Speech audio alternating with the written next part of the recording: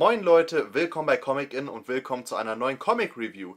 Wir bedienen heute wieder das Feld Justice League, Justice League International und ich habe wieder eine Mini als kleine Ergänzung. Die letzten Male haben wir zum Beispiel Metamorpho und vor fast zwei Jahren mittlerweile Martian Manhunter angeschaut. Und dann habe ich hier noch ausgekramt für das heutige Video The Weird, was kurz chronologisch vor der Nummer 7 der Justice League damals spielte. Geschrieben ist die Story von Jim Starlin und gezeichnet von Horrorlegende Bernie Wrightson. Also auf dieser Seite schon mal ein sehr interessantes Kreativteam, wo ich sehr gespannt war, was da auf uns wartet.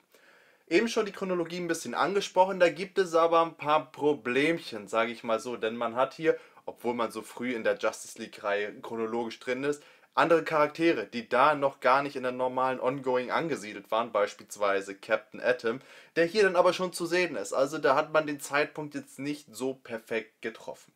Die Geschichte ist aus 1988 und The Weird ist ein neuer Charakter. Ich wusste nicht, dass man The Weird danach nochmal benutzt hat. Wusstet ihr das? Es hat eigentlich auch nur eine Person The Weird nochmal benutzt in drei Serien und das ist The Man himself, Jim Starlin, der ihn auch erfunden hat. Ich weiß nicht, der scheint einen Narren an seine eigene Figur gefressen zu haben.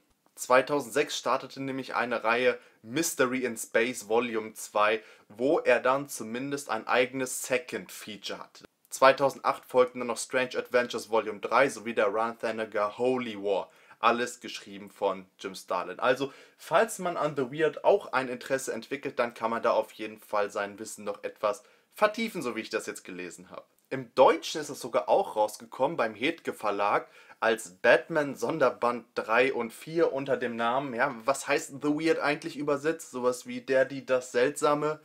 Ja, wir haben es übersetzt mit der Schock. Muss wohl passen. Ich, ich weiß nicht, wo, wo die da ein englisches Wörterbuch rausgekramt haben, wo das so drin steht, aber der Schock, ja. Auch noch erwähnenswert, wenn man sich das Barcode-Feld mal anschaut, okay, habe ich jetzt eine Newsstand-Ausgabe, aber sonst steht da, DC Comics aren't just for kids. Also hat man hier im übertragenen Sinne sowas wie einen gedanklichen Vorläufer des Black Labels. Man hat hier einen Titel, der nicht für Kinder geeignet ist, sondern sich schon an Erwachsene widmet. Und ja, das kann ich nachvollziehen, auf jeden Fall. Wir haben 38 Seiten reine Story in diesen Heften, also es dauert ein bisschen, bis man durch ist. Und das Ding ist, die normale Geschichte, der normale Plot wird durch einen anderen Aspekt des Plots ergänzt, der so super abstrakt ist. Also es ist jetzt eine gute Mischung aus Emotionalität und Abstraktheit, was eigentlich komplett im Gegensatz zueinander steht.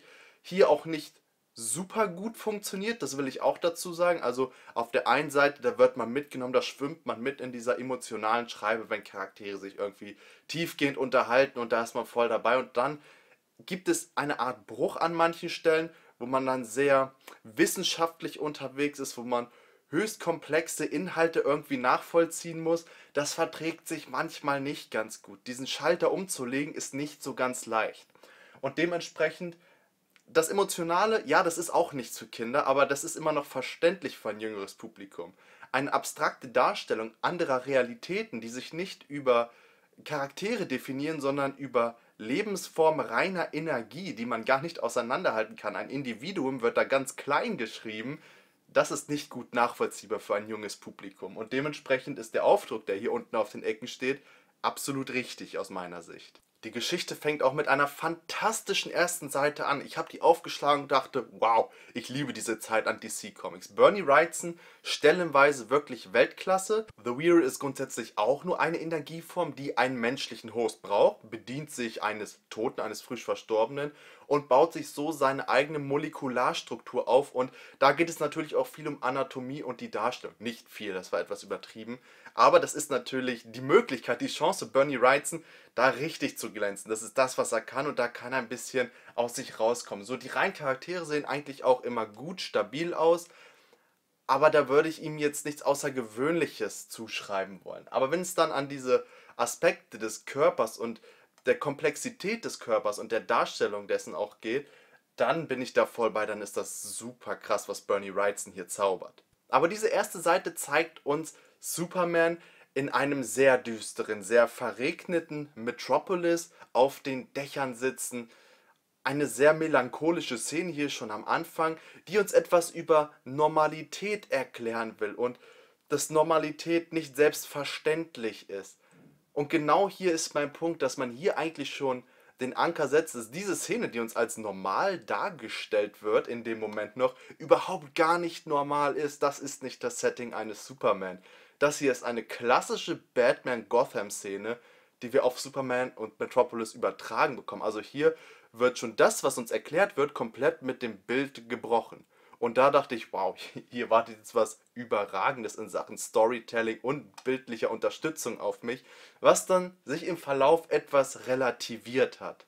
Es ist für uns natürlich nicht so leicht, die neuen Charaktere The Weird und sein Gegenspieler, den wir auf der Nummer 3 sehen, Jason Morgan, über den man mittlerweile auch nichts mehr rausfindet, der scheint wirklich nicht mehr vorgekommen zu sein im DC-Kontext, die irgendwie gebührend zu etablieren und interessant zu machen. Das funktioniert bei The Weird, aber grundsätzlich auch nur über die Ebene der Emotionalität, weil er ja eine Person, eine tote Person übernommen hat. Und eigentlich ist diese die interessante Figur, weil er Erinnerungen, gelebte Gefühle und sowas natürlich mit diesem Hostkörper teilt und dieser nachvollziehen kann und dementsprechend eine zurückgelassene Familie für sich findet, die natürlich in ihm den Vater, der gegangen ist, trotzdem noch sieht, zumindest sein kleiner Sohn ich sag jetzt schon Sohn, weil die beiden sich so annähern, dass sie sich auch in einem Vater-Sohn-Verhältnis später sehen. Das ist eine ganz, ganz große Stärke dieser Story, mal abseits von dem ganzen Superheldenkram eine Vater-Sohn-Geschichte zu erzählen, die absolut von Tragik und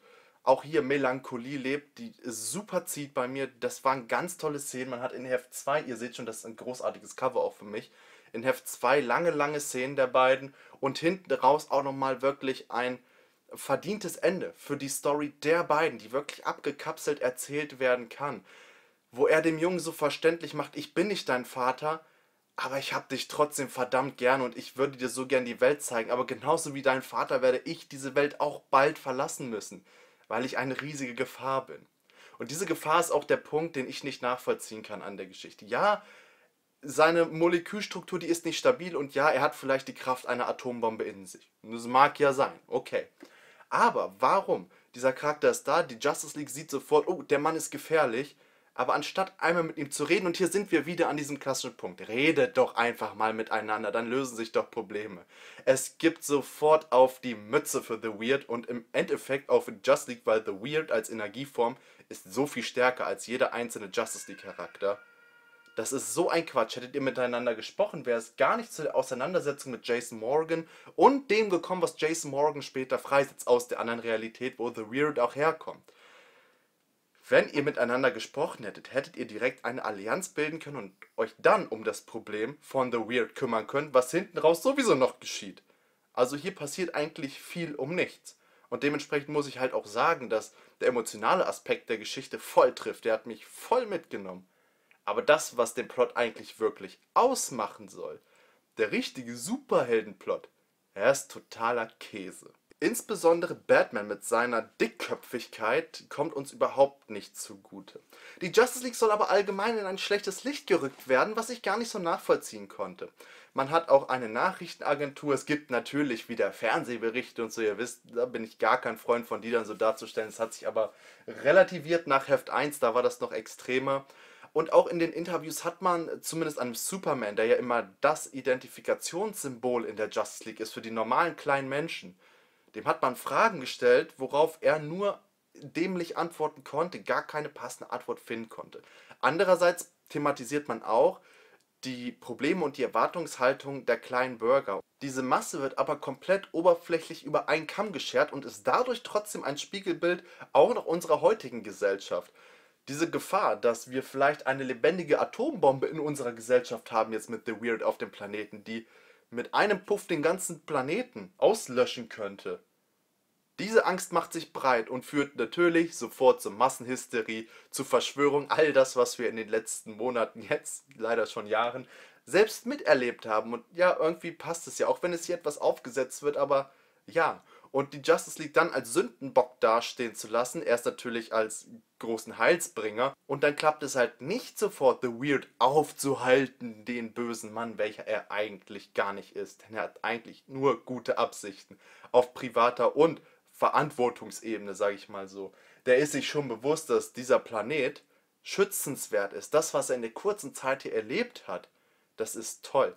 Die Einfachheit der Menschen, was dann auch passt zu der Verschwörungsthematik, der Massenhysterie, so wie sie halt dargestellt werden, die kleinen Leute, diese Einfachheit dieser Leute ist für ihn erstrebenswert, weil er aus einer viel komplexeren Realität kommt und diese viel zu überdacht ist einfach. Menschen erfreuen sich an kleinen Dingen. Diese Gefühlswelt kennt er nicht. Dieser Gefühlswelt kommt er aber nahe, wenn er seinen Sohn in Anführungszeichen hier etwas näher kennenlernt, beziehungsweise den Sohn seines verstorbenen Wirts. Das ist eigentlich eine super interessante Thematik, die hier auch doch, ich würde sagen, genug Panel-Time bekommt, dass man sich da auf jeden Fall hineinfühlen kann. Und es öffnet auf jeden Fall die Augen und dass wir uns und das Leben, das wir führen, auch auf jeden Fall immer wertschätzen sollten, weil das ist nicht selbstverständlich. Außerdem ist es, und das ist ganz wichtig, ein Appell für die Freiheit, weil die Realität, aus der The Weird kommt, lebt nur von, ich sage es mal, Sklaverei. Das ist ein System, was da etabliert ist, es gibt starke Energieformen, die nutzen schwache Energieformen, saugen sie aus, nutzen sie, um selbstkräftiger zu werden und stoßen sie irgendwann ab, wenn sie leer gesaugt sind, mehr oder weniger. The Weird war in seiner Realität einer dieser schwachen Parts. Und zwei der starken Parts kommen über die Brücke. Jason Morgan, Gegenspieler von The Weird. In unserer Realität suchen sich auch zwei Hosts, Superman und ein Mitglied der Infinity Inc., der glaube ich später noch bei äh, der JSA kurzzeitig war und mischen die Erde so richtig auf. Es wird Amok gelaufen. Aber das ist es halt. Es ist die Freiheit, die er hier so schätzt, die er hier so liebt, warum er den Planeten auch so lieben lernt und seine Bewohner, weil wir grundsätzlich frei sind. Und diese Freiheit, die er sich immer gewünscht hat, die gilt es für ihn zu beschützen. Ja, schön blöd, dass die Justice League ihm da so direkt vor den Kopf stößt. Totaler Quatsch eigentlich. Ne? Aber so ist es hier. So ist es. Und er muss der Just League beweisen, er verhält sich eigentlich total gently und ist, ist super. The Weird ist ein super Charakter, der trotzdem verständnisvoll bleibt. Der natürlich auch weiß, er ist deutlich mächtiger als ein Superman beispielsweise. Den stößt er durch die Luft und macht mit ihm, was er will. Ne? Egal wie oft ein Batman angreift, ein Guy Gardner, keine Chance, den bringst du nicht aus der Ruhe, der bleibt ganz besonnen und tut das Richtige. Und das ist enorm wichtig und tut der Geschichte gut. Das löst so ein bisschen diesen schwachen Aspekt Justice League in der Geschichte. Die Justice League ist der schwächste Punkt an dieser Storyline. Und dabei soll uns die Storyline so viel vermitteln. Und das eigentlich über die Justice League. Das tut sie aber nicht. Es ist tatsächlich der Charakter The Weird, den wir gar nicht kennen. Was ist das für eine Situation? Aber er bringt uns so viel nah und das ist wichtig. The Weird ist ja auch nicht unter dem Banner Justice League erschienen. Deswegen mag das schon passen. Es ist eine Geschichte, die sich zwischen Zähheit und wirklicher Emotionalität sehr stark abwechselt, die sehr stark schwankt in ihrer Qualität. Phasenweise bist du richtig drin und dann wirst du wieder rausgeworfen. Dann hast du wieder richtig Bock und dann hast du wieder gar keinen Bock darauf, das zu lesen. Es ist ein bisschen unausgewogen geschrieben, aber genau das macht auch irgendwo den Reiz aus, dass es halt abwechslungsreich ist. Ich gebe keine Leseempfehlung dafür. Aber nur weil ich auch glaube, das ist nichts für die breite Leserschaft der Superhelden. Dafür ist es teilweise zu komplex, also es ist zu unnötig gestreckt komplex geschrieben. Ich will damit nicht sagen, dass Komplexität nichts für einen Comicleser ist. Nee, nee, das sage ich nicht. Aber es ist teilweise einfach ein wenig zu lang dafür. Und wie gesagt, der Story-Aspekt der Justice League, der ja 50% dieser Hälfte ist, ist halt nicht so gut. Andere ist sehr stark. Es ist auf jeden Fall eine sehr interessante Erfahrung, die uns mal wieder wichtige Motive vor Augen führt. Und das ist eigentlich genau der richtige Ansatz. Ich wäre gespannt, noch mehr von äh, Starlin zu The Weird zu lesen. Aber ich glaube, es ist auch gar nicht so leicht, an die anderen Hefte, die ich euch vorhin gesagt habe, ranzukommen. Das war ein sehr interessanter Ausflug, eine sehr interessante äh, Addition für meine Justice League. Wird natürlich vor der Nummer 7 dann noch einsortiert. Und damit, mit diesen Eindrücken will ich euch jetzt auch wieder verlassen. Das war Comic in The Weird. Bis zum nächsten Mal.